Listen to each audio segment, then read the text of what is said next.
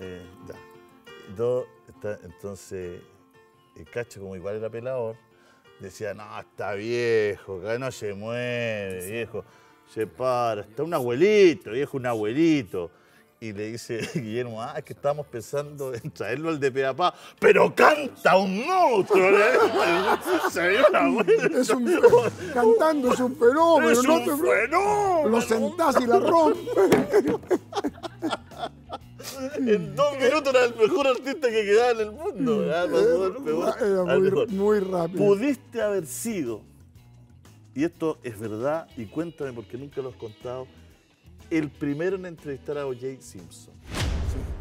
De pe a pa, Pedro estaba en la oficina esperando, O.J. Simpson en el aeropuerto con Víctor Gutiérrez. con Víctor Gutiérrez en el aeropuerto de Los Ángeles, De Los Ángeles. embarcándose. O sea, te digo una cosa, o sea, para que la gente sepa, O.J. Simpson era el jugador más importante del fútbol americano, en su historia uno de los más importantes. Y él eh, fue inculpado en un momento del asesinato de su ex esposa y del compañero de su ex mujer. La fuga de O.J. fue transmitida en directo por la televisión Mundial. norteamericana, ¿te acordáis? Por el Por mundo. las calles y por las autopistas de Los Ángeles. Además, él, nosotros- se, él se parapetó Sí. unas horas, el mundo entero viendo la transmisión del jugador más importante en el deporte. fue detenido, estuvo en la cárcel, ganó el juicio criminal no guilty y un trabajo colectivo encabezado por Víctor Gutiérrez, el mismo que hoy es un capo ya, está en otra, Director ejecutivo, no sé. director ejecutivo de la Vamos red. igual. Imagínate los compañeros que teníamos, uno director ejecutivo de la red y el otro subdirector de programación del 13. Del 13. Ese era de Peapa. Ah, Ese era de Peapa. Y Julito con el micrófono ahí. y uno trabajando para el equipo. ¿ah? Bueno, y lo traíamos nosotros. Eh, Víctor encabezó la operación, lo fuimos a buscar a, a Estados Unidos y acá teníamos una batalla nosotros eh, con los ejecutivos del canal porque había una tesis de que mm, a pesar de que había tenido veredictos favorables, se le consideraba como culpable de un femicidio y era algo grave y que el código de, de ética de TVN no permitía que nosotros, el libro gordo de Petita, que no, no autorizaba que nosotros hiciésemos esta entrevista y perdimos.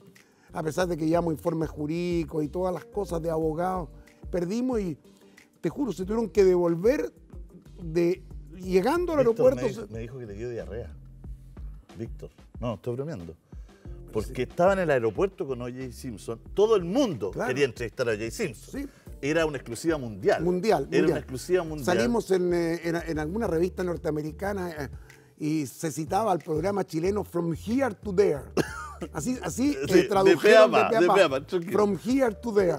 ¿no? Y, em, Y era- Víctor me cuenta que además estaban en telefonazos, todos estábamos en telefonazos. Eh, yo estaba en DPAPA también, estaban en telefonazos, pero ustedes estaban arriba, porque estaban peleando hasta el último minuto. Y Víctor en el aeropuerto, y O.J. Simpson le decía a la gente que pase. Víctor dice que le empezó a oler la guata, como cuando te viene como una, un- una diarrea.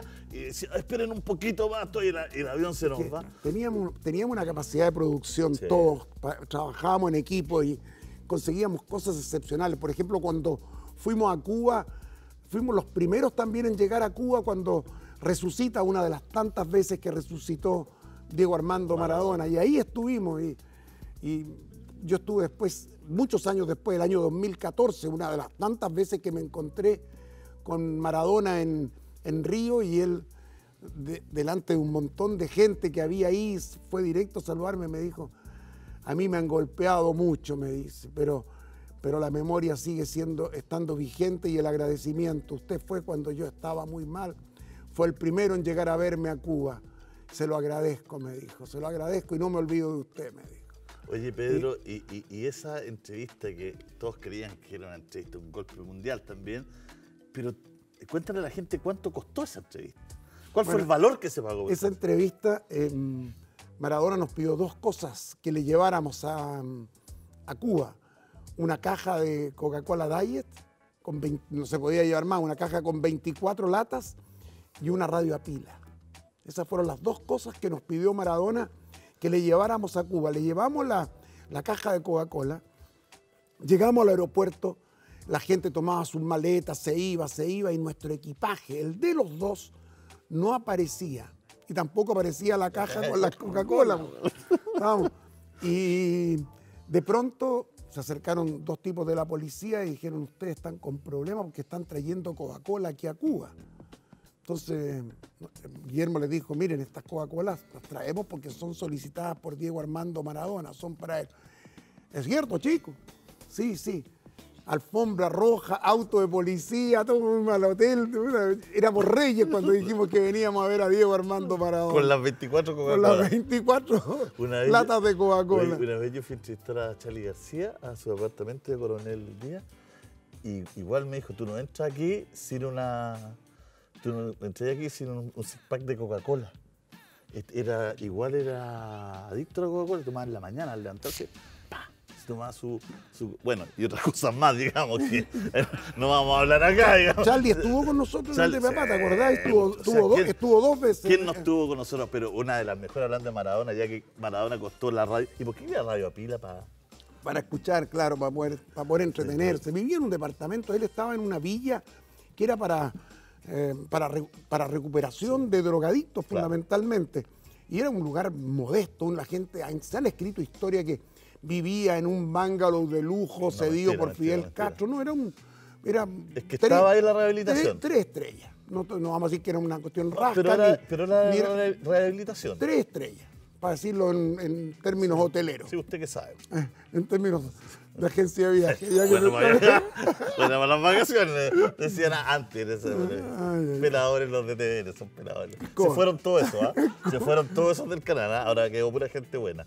Eh, Gutiérrez, Gutiérrez, Víctor Gutiérrez, no porque sea director ejecutivo de un canal, lo vamos a dejar limpio, ¿ah? Pero eh, Víctor Gutiérrez eh, es uno de los grandes promotores de, de repente de algunas cuestiones. ¿ah? Ah, no sé yo, porque Sí. a lo mejor a ti te cuenta No, cosas conmigo, no, es muy no, prudente.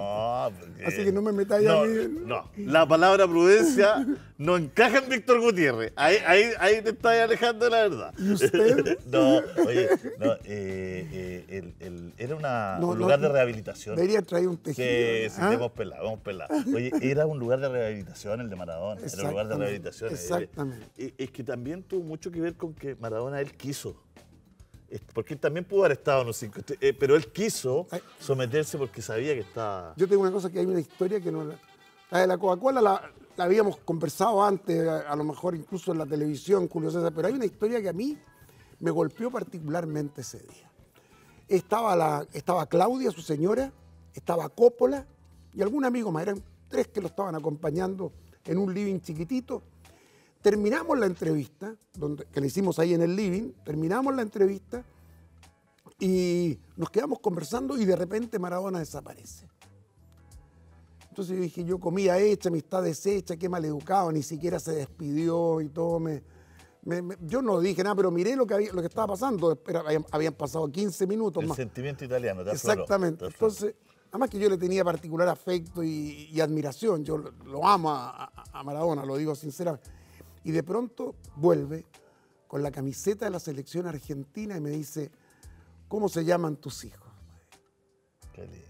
y escribió los nombres de mis hijos en la camiseta y me la entregó. Todavía está guardada, es una, ahí está, en la casa de Giovanni, de mi hijo mayor. en- mira, a él a nadie le dijo nada, sino que fue a buscar una camiseta de las, su camiseta de día de la selección y me la regaló. Ese para mí es un, Tesoro. un momento que tiene mucho valor, que retrata además a Maradona cuando siente que hay cercanía con alguien, cuando hay afecto de por medio, más allá de la relación que se puede establecer profesional entre un entrevistado y un entrevistador. Es como nosotros dos. Te voy a pedir que te la juegues, Pedro. Eh, porque tú también entrevistaste muchas veces que era un personaje, sigue siendo, Coppola. Ah, Ah, extraordinario. Tú has tenido la oportunidad de entrevistar al. al- Extraordinario. Tú- Coppola era el- Tú entrevistaste a Menem después de que se le acusaba de todas las lucas, todo.